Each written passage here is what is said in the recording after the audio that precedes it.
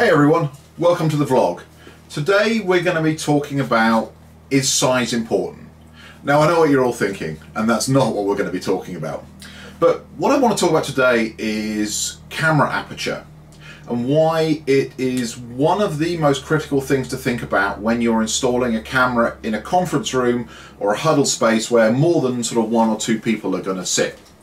Now we all know that the modern cameras are getting really really great the the quality that you can get out of you know just a simple cell phone camera is just quite astounding. But really when you put them into larger rooms where you've got uh, potentially you know a lot of people sitting quite a distance from the camera maybe up to many meters away um, the light gathering ability of the camera becomes really important.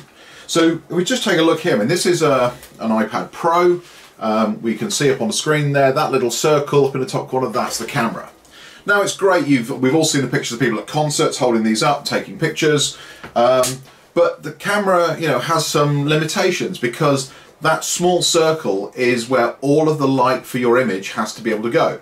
And in a large conference room where the lighting might not be great, the larger the aperture the better. Of the things that uh, a lot of people say is, well, we'll just put a PC in the conference room, we'll stick a, a webcam on it and we'll, we'll operate that way instead of buying a dedicated video conferencing system. And they choose something like this. This is the Logitech C925, absolutely fantastic webcam.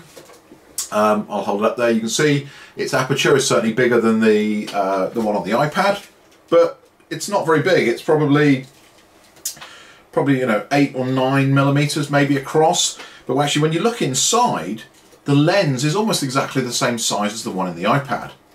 Now you can still get a great quality picture out of this, but this is designed to sit this far away. It's designed, you know, one, maybe one and a half meters, um, and designed to sit at eye level and capture maybe one or two people at most. Um, it is actually, as I said before, a wonderful product. And one of the things I do like about it is this little privacy filter. So any of you who have seen the Snowden movie, or who are worried that somebody might be watching you through your webcam, you can slide that across and it works for you. But really this is a personal device. This is designed to hook on your, your computer. Um, it actually lives on mine, but it's designed for you to be able to do one-to-one -one video chats. So for the small conference room, there are systems like this. And again, this is another Logitech product. This is the uh, Conference Cam, uh, Conference Connect, I believe it's called. Um, and it is, it's an all-in-one. It's a Bluetooth speaker for conference calls. It'll play your music. It'll things, but if you take this little panel off the front, nice little magnetically attached remote, you have a camera. And this is its main function. It is a, a group conference camera.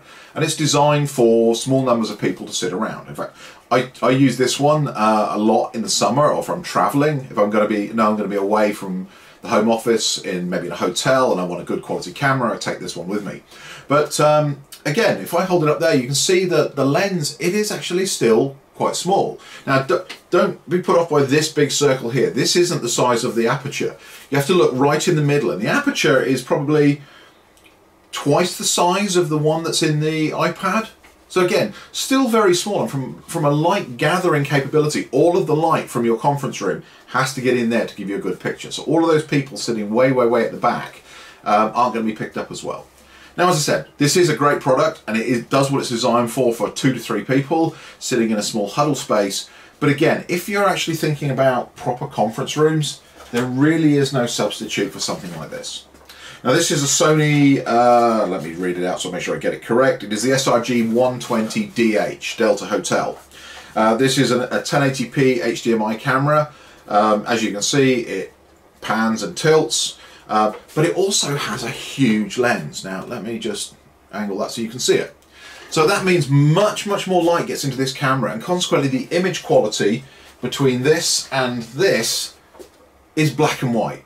I don't mean literally because they're both color cameras, but the quality that you will get from this camera is streets ahead of a camera like this. Now obviously this camera costs a lot more than this camera. So it really is, you've got to ask yourself, you know, what's more important to you? Well, maybe if you're interested in video conferencing, the quality of the image might be quite important.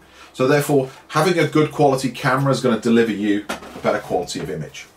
So reality is, size is important, and the bigger the aperture, the more light you're going to get in, the more light that gets into the sensor, the better quality image that you're going to get. Well, I hope that was useful. Next time, we're going to talk about something else that's quite dear to my heart. Uh, I'm going to talk about microphones and uh, sound in conference rooms.